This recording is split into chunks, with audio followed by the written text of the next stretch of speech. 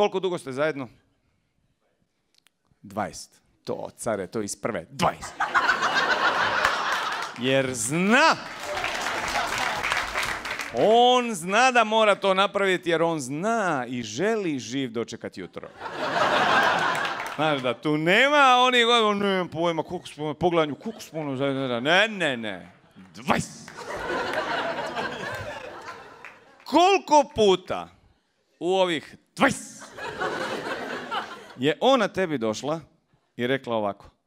"Ej, če- Miško, Miško, Eto me za pet minuta.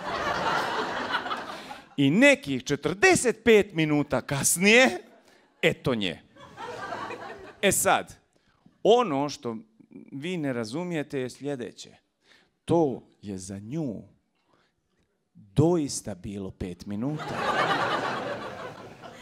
Jer realno vrijeme je muško vrijeme.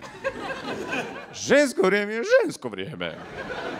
I tako, recimo, vas dvoje ćete još 20, još 20, još 20, znaš ono, da, nakon nekog vremena, dakle nakon nekih 50-60 godina, ti se polako spremaš na vječna lovišta. Ona, ona tek maturirala je.